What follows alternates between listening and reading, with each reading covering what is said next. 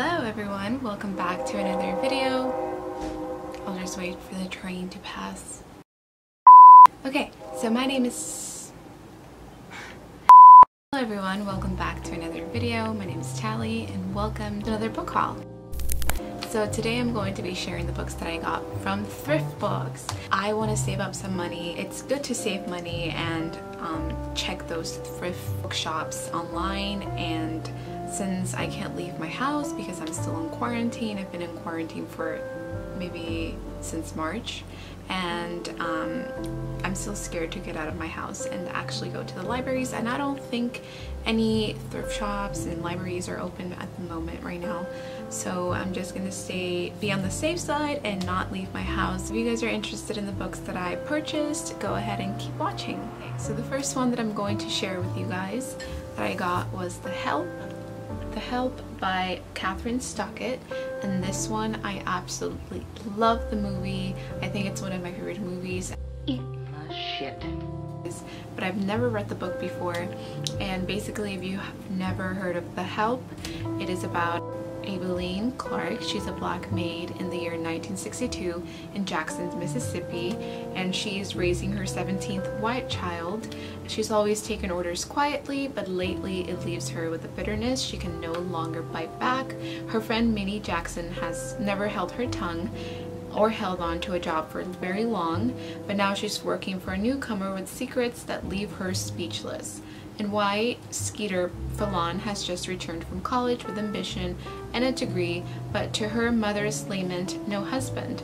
Normally, Skeeter would find solace in Constantine, the beloved maid who raised her, but Constantine has inexplicably disappeared. So excited to read the book because they were just so love there were such lovely characters in the movie and I'm pretty sure that I'm gonna fall in love with them when reading the book. The Help was $4.69. I think this one is around like $11 on Amazon, so I saved pretty much a lot of money.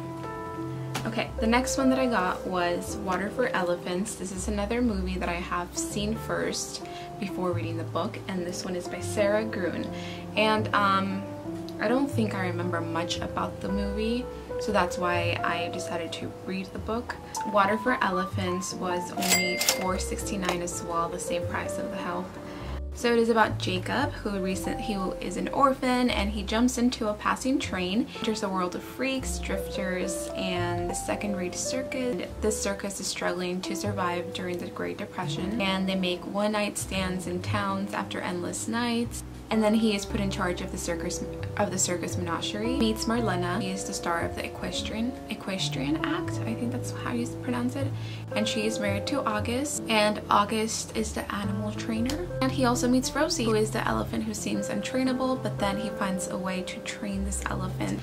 Um, it's just a beautiful story and I absolutely love the movie. This one, I've been seeing this series everywhere and I got Cinder and this is this was $4.79 and it is by Marissa, Marissa Mayer. My, Mayer? Meyer?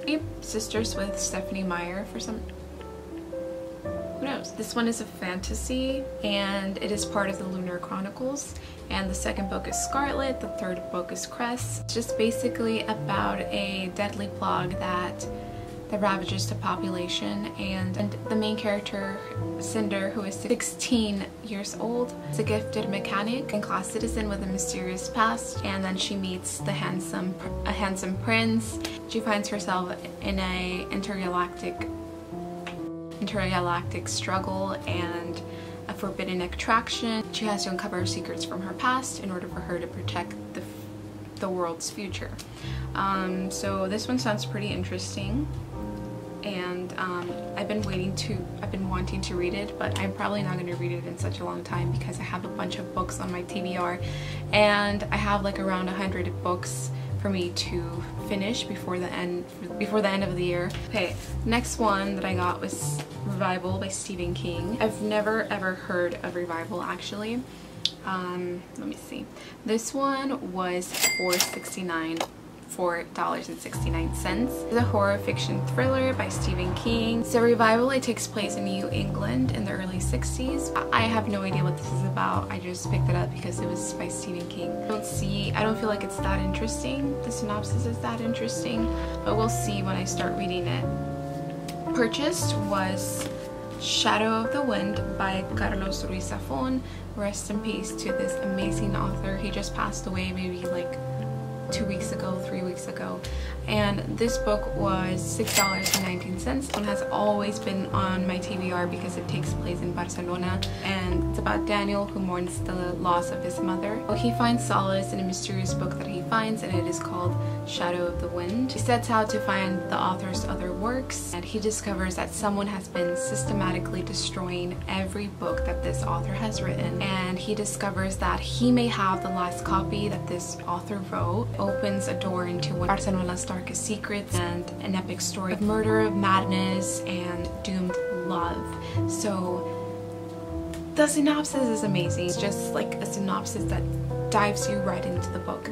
I'm so excited to read it. So um, yeah, I also got this one. The next book that I got, I think I've read it maybe like three times already, but it is The One and Only To Kill a Mockingbird by Harper Lee. And I think I read it in high school, I read it again in, I read it again in college, and I finally own it. Um, this one was only $3.99. Growing up, I, I absolutely loved To Kill a Mockingbird. Honestly, I cannot wait to reread it for the fourth time. Next one that I got, I'm super duper excited because it's one of my favorite authors and he is Gabriel Garcia Marquez. This one is called 100 Years of Solitude. I read this one already and I didn't own it. I have no idea why. Gabriel Garcia Marquez is, is Colombian, so he is a Latin writer. He was, I'm sorry. I think this is one of his most popular books. It is fiction, classic, magical realism in literature. It tells the story of the Buendia family, chronicles the irreconcilable conflict between the desire for solitude and the need for love. My dad is actually reading this book as well and he asked me if I read it and I went crazy when he told me that he was reading the book because Gabriel Garcia Marquez is one of my favorite um, Latin authors authors and um, this one has been one of my favorite books from him and I wanted to own it and I can't wait to read it all This one was um, 6.19. The next one that I got was Cell by Stephen King. I have heard about this one. This one was $4.19. On October 1st, God is in his heaven. The stock market stands at 10,140.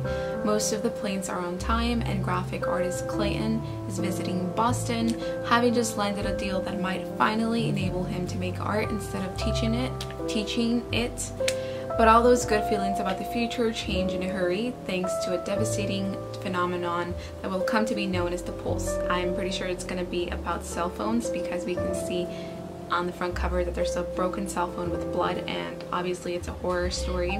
So it sounds pretty interesting. I think it's already a movie. Another book that I purchased was, was The Handmaid's Tale and the other one that I purchased was The Catcher in the Rye and I purchased Eleanor Park. Eleanor Park has a lot of racist remarks. I don't accept that and I'm probably not going to read it. I hope you guys enjoyed this video. Thank you so much for 800 subscribers. That's freaking insane. That's freaking crazy. Like, I barely had 400, maybe 600 subscribers last month and I am shocked. That is all for today. I hope you guys enjoy this enjoyed this video and let me know if you guys have read any of the books that I purchased. It'll be my last book haul in a long time because I'm trying to save money. I hope you guys enjoyed and I will see you I will talk to you guys next time. Bye!